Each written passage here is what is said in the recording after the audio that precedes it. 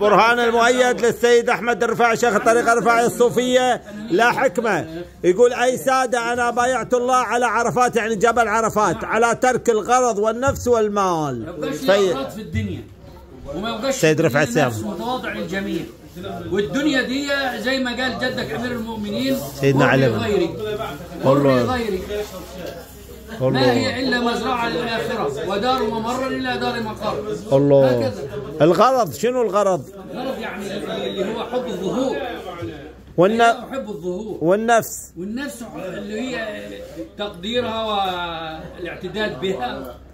يقول أنا سويت وأنا عملت وأنا كذا. والمال. والمال حب الدنيا بقى حب المال. في حد يبي يضيف؟ الراوي الفياضي هلا الكفراوي الشباب. سيدي الحجازي. حجازي.